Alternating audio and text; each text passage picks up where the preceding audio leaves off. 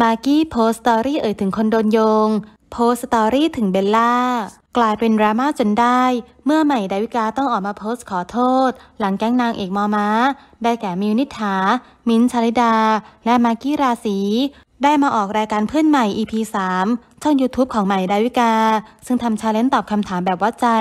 โดยประเด็นดราม่าเริ่มต้นที่คำถาม เคยร่วมงานกับใครแล้วไม่ขอร่วมงานกันอีกทำให้ชาวเน็ต โยงไปถึงนางเอกสาวคนดังของช่องสามก็คือเบลล่าราณีแคมเปนล่าสุดมาร์กี้ได้โพสต์ IG story ว่า ไม่ใช่เบลล่านะคะทุกคนไม่เคยมีเรื่องกับเบลล่า ทั้งในอดีตและปัจจุบัน งานนี้ชาวเน็ตก็ต้องทำงานหนักอีกเช่นเคย เพราะข่าวที่มาร์กี้และเบลล่านั้น ไม่เป็นไปตามที่ทุกคนสงสัยกัน เอาล่ะงานนี้สืบกันต่อไปยาวๆเลยค่ะ